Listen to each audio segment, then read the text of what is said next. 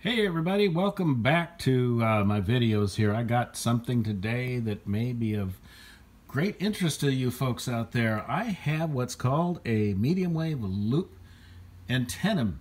Uh, this happens to be a Sutekus model AN200. And uh, this is what you want to use when you want to improve the signal from a little transistor radio, this little shower radio here. Um, my reception's pretty bad with, uh, uh, using this alone. There's a little loopstick antenna inside. But this is uh, going to tune the exact frequency of the broadcast band, AM broadcast band signal that you would be listening to. Now, it works really great on this one. And you just have to hold it close by, preferably orient it in the correct direction so that you get the best signal. We'll demonstrate that in a minute here.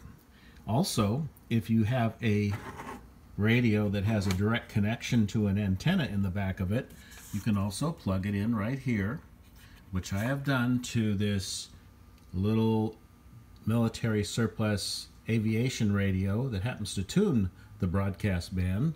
It tunes 550 to almost the top of the broadcast band, not quite, to about 1500. So we've got it tuned into a radio station already, got it plugged in right here, and let's see how well it does. All right, let's turn up the volume. Your stalled SUV is clear at Anaheim, South 5 around Brookhurst, North South 5. Now the first thing you want to do when you have this set up is you want to adjust the antenna loop to get the best signal. Next report at 515 with more traffic from the Toyota Glendora.com traffic center, KNX 1070. 60s, 70s, 80s. So you can see I, I put it exactly halfway from the weakest signal to the strongest signal, put it about halfway um, in between. And that's our strongest signal. So next thing you want to do, Right now, tune in your radio 75. station. Irvine, the same 70 degrees. 507 now on KNX LA County reporting the largest single day number. Now once that's tuned in, you can come over to your tuning capacitor, variable capacitor, to make this such that it tunes that particular frequency in right on the money. So let's try that. Let's turn up the volume. At volume. this point, this is a pandemic of unvaccinated. Have we build trust in the vaccines while we make access Wow, that makes a difference, doesn't it?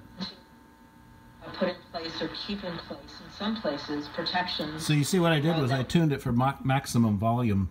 So now we're perfectly set here for this particular radio station. Now you will have to, after you uh, tune to different stations, especially weak ones, you'll have to retune uh, this little variable capacitor for maximum signal.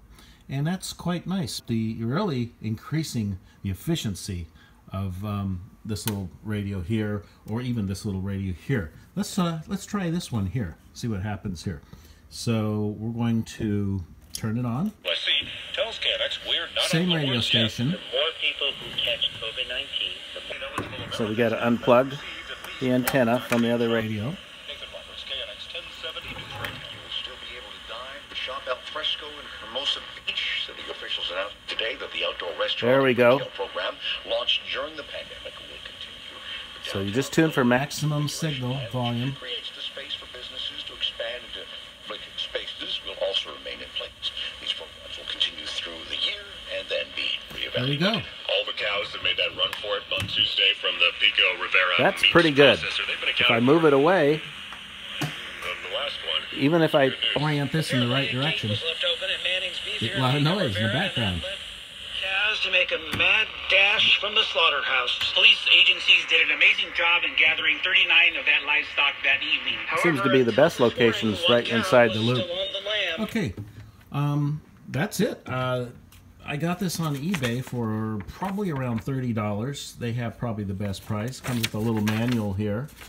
Very simple to use. No batteries required. It's just a self-powered unit.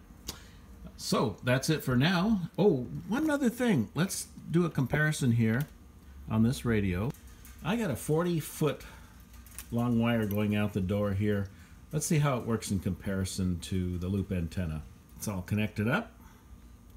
Let's turn up the volume. For alumni satisfaction, learn more about online campus degree programs at go. It's not as good. Out of sight, out of mind. Picking up a lot of noise. But it doesn't work with termites. Hey, it's Vicki Moore for Pacific Coast So- Termite. It's very useful for even replacing the long wire antenna I'm using on this radio here. So that's it, guys. Um, you got any questions? You got any comments? Have at it. Just let me know. Thank you for listening, and be sure to subscribe and give a thumbs up. Thank you.